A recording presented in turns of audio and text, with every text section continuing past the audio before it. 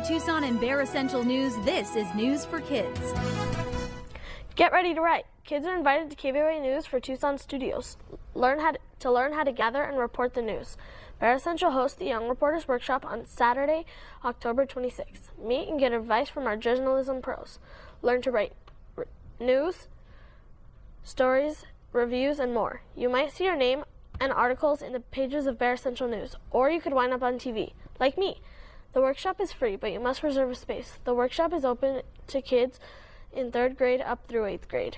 To reserve a spot, call 520-792-9930. This is Candace Armbruster from White Elementary for Bear Essential News.